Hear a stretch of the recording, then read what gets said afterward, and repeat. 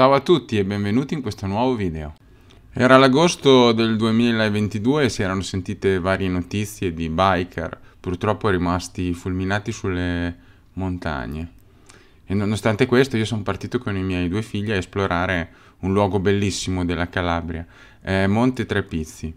Quel giorno il tempo era abbastanza incerto e fino all'ultimo momento ero indeciso se, se andare o no. Guardando le montagne alla fine sembrava che le nuvole stessero andando verso le montagne più alte e non verso il mare. Allora poi abbiamo deciso di andare.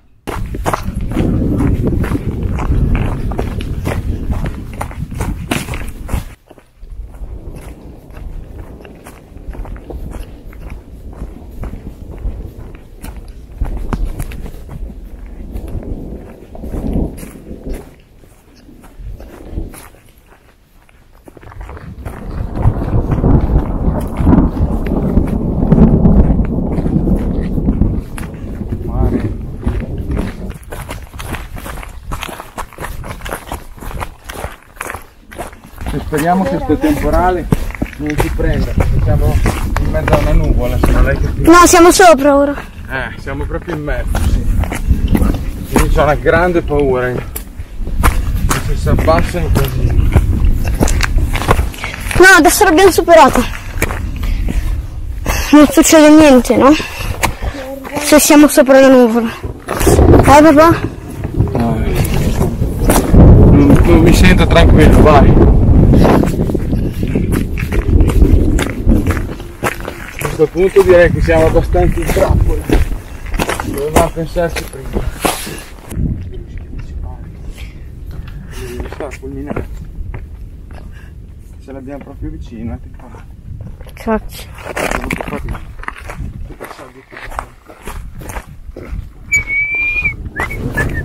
Il temporale è alle nostre spalle, però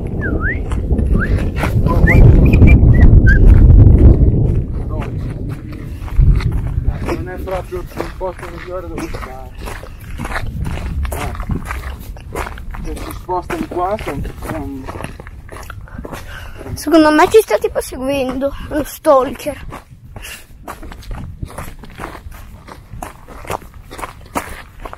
Adesso attenzione che questo qua è, è un po'...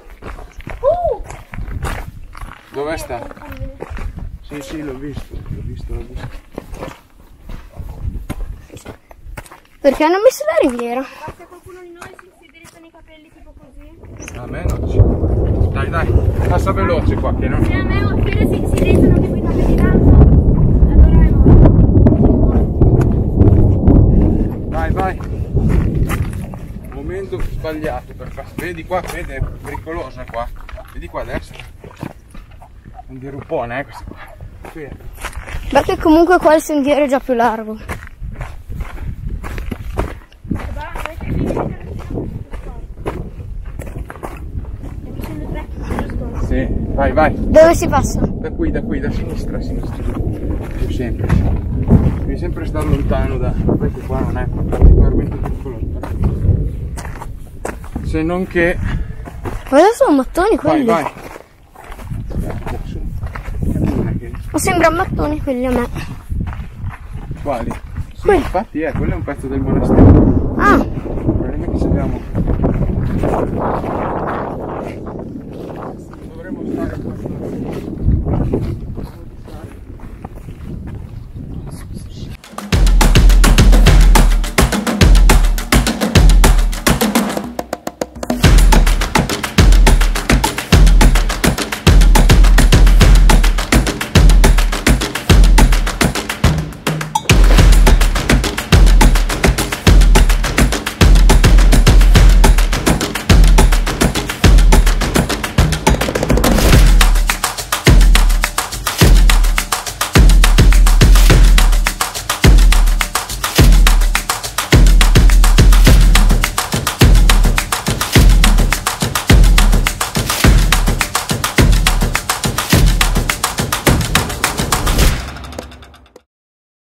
Quando in Calabria si fa un'escursione in un luogo naturale bellissimo, molto spesso si finisce per sbattere la testa contro l'archeologia e la storia.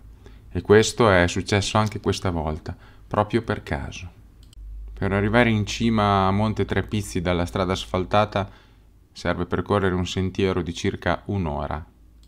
La nostra salita è stata accompagnata da un sacco di tuoni e da una leggera pioggia, ma fortunatamente i fulmini non ci hanno raggiunto. Arrivati in cima ci accorgiamo che non c'è solo l'antica chiesetta di San Pietro, ma ci sono i resti di numerosi muraglie. Nel sud Italia spesso questi muretti fatti con pietre a secco si chiamano, vengono chiamate armacere. Questi muretti hanno di solito la funzione o di delimitare la proprietà o di servire come terrazzamento per trattenere il terreno in una zona in forte pendenza e impervia. Tuttavia in questo luogo abbiamo notato anche dei muri a secco molto spessi che sembrano più delle vere e proprie fortificazioni quindi recinzioni difensive.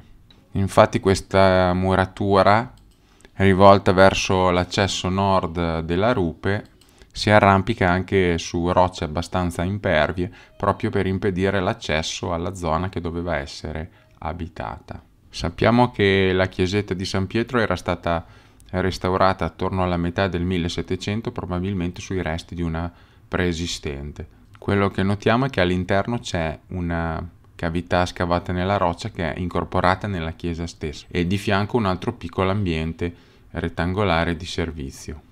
Il tetto si inseriva in cavità scavate proprio nella roccia che sembrano continuare. Se si prosegue oltre la chiesetta di San Pietro verso sud lungo la roccia rettilinea, notiamo che ci troviamo sotto un boschetto terrazzato, ci sono appunto resti di terrazzamenti sulla sinistra e altre cavità scavate nella roccia sulla destra ed è molto probabile che anticamente qui sorgesse un antico monastero. Infatti sulle rocce ci sono piccole cavità dove sembrava innestarsi il tetto.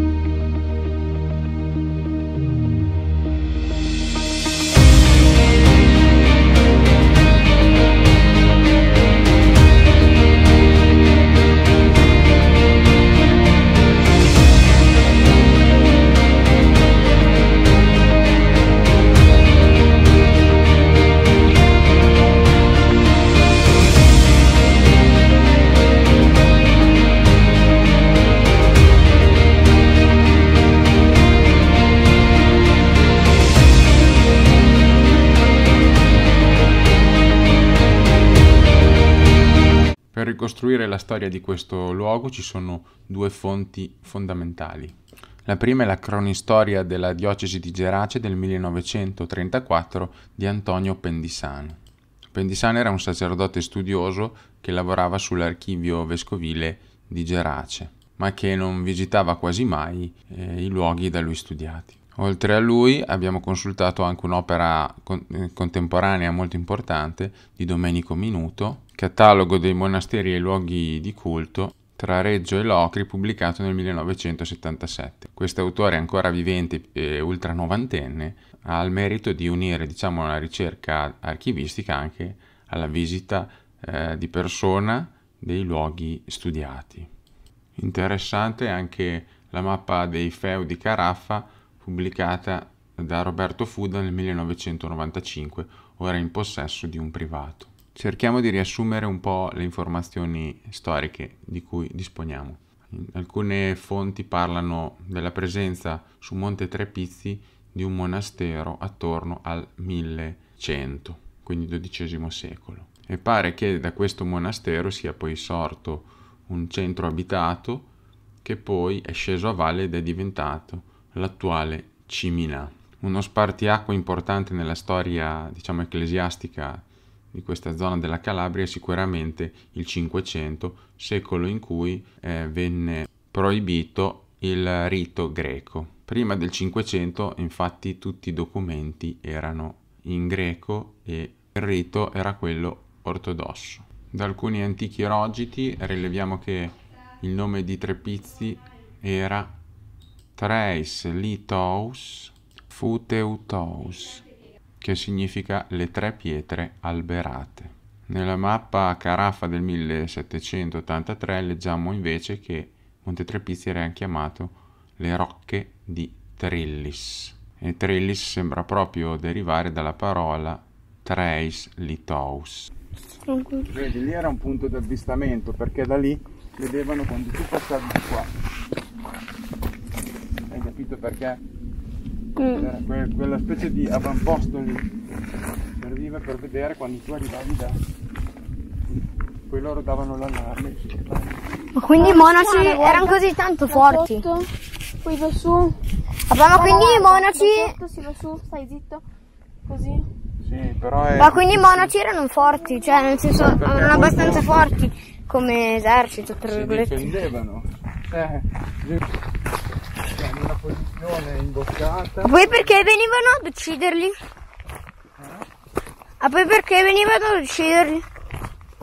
Eh, perché, Avevano grandi tesori. perché i turchi depredavano i tesori, rapivano, facevano schiavi.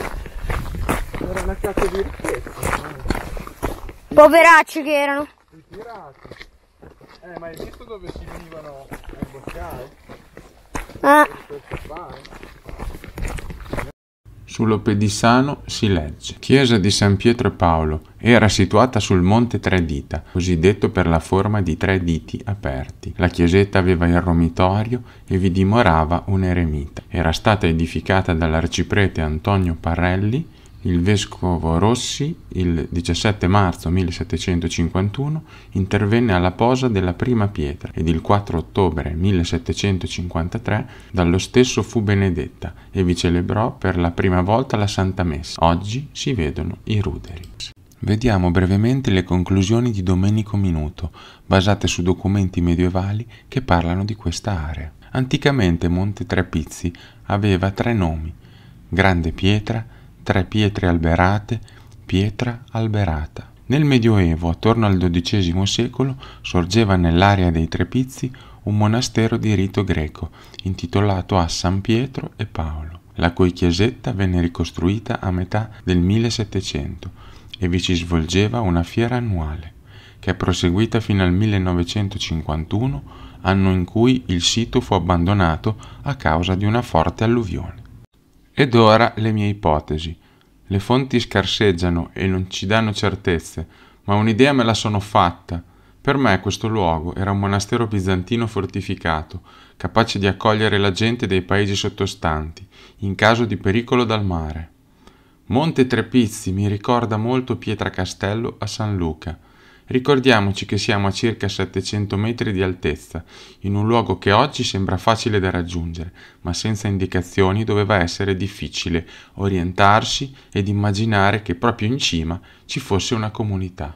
Il luogo dove sorge domina un ampio tratto di costa, si vedono Gerace, Condoianni, Antonimina e Ciminà, ed ha solo due vie d'accesso piuttosto impervie.